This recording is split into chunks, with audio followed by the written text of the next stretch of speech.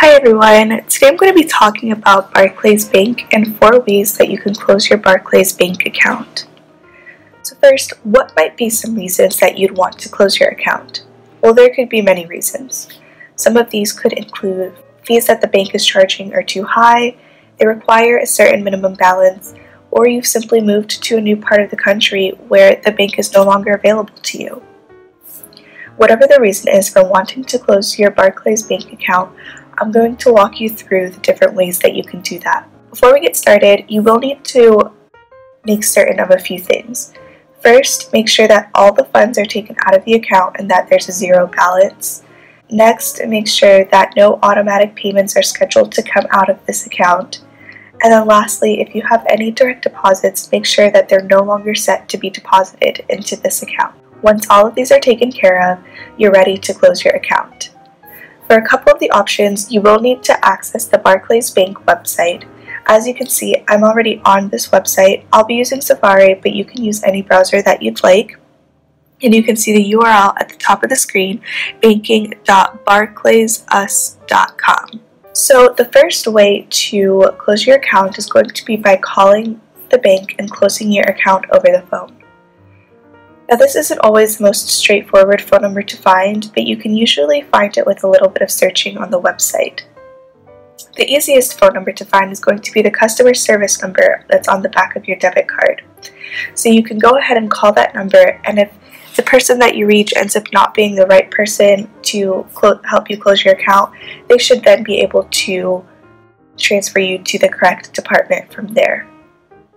When you call, they may require verification in writing before they will actually close your account, but closing it over the phone is usually an option. The second way that you can close your account is by mailing Barclays Bank a letter. Now this option is actually the least recommended one because when you mail the letter, you won't know for certain if it's going to the correct department. This is also the slowest and most inefficient option. However, it is still an option if you prefer it, and if you choose to do this option, you can usually find the mailing address on the Barclays Bank website. But another reason it's not recommended is that mailing address can sometimes be a little difficult to find. So if you're having some trouble finding it, you can also try doing a Google search to find the mailing address. And if you happen to know of another way to find this address, please let me know in the comments.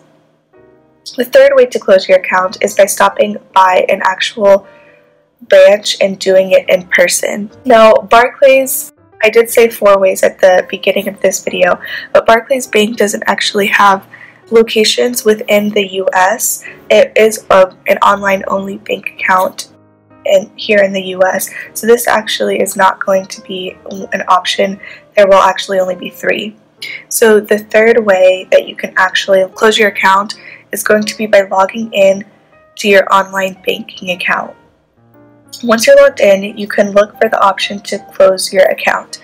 Now to log in, you're going to click on the login button which is located at the top towards the right of the main menu or of the main screen.